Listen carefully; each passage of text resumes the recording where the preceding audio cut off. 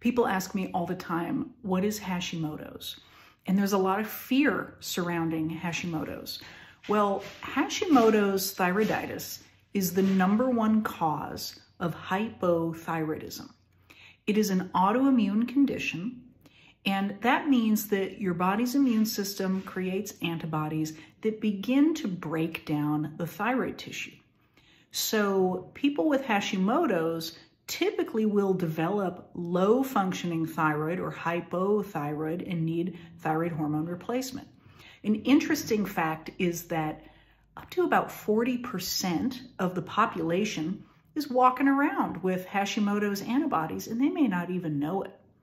So having the antibodies will predict hypothyroidism, but it can't tell us when that's going to happen and it can't tell us how bad it's going to be. Some people might need just a little taste of thyroid hormone. Some people need the whole dose that the thyroid can make in an average day replaced completely.